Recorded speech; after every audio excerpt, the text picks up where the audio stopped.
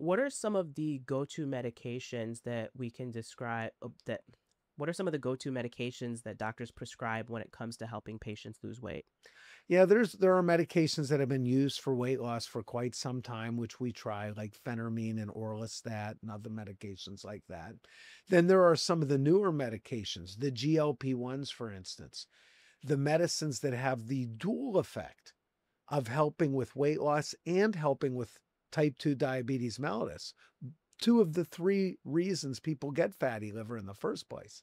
And they are very promising, by the way. Now, if you said, are they approved for the fatty liver part for these patients? The answer is, as of now, no.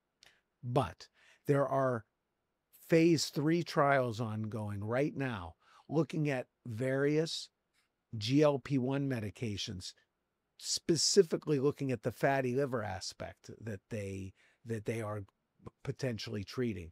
And I can tell you the results to date are very, very promising.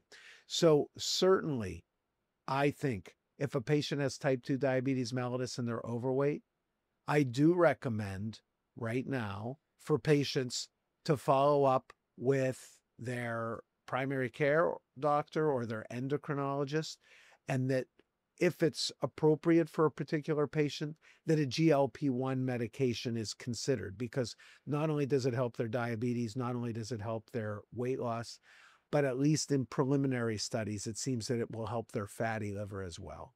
Are we finding that patients are mostly coming in already on GLP 1s? And since it hasn't been approved for fatty liver, if they aren't already on GLP 1s, how does that? Uh, I'm guessing they would have to be prescribed that elsewhere, not in the Yes, some of them come in on GLP-1s just because it's so they're so commonly used now. Um, and when patients have type 2 diabetes mellitus and are overweight, their doctors understand that it will help those two things.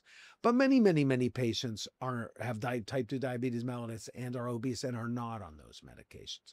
Uh, sometimes because the medications are difficult to obtain. You know, insurance is not certain insurances are not that supportive of those medications right now.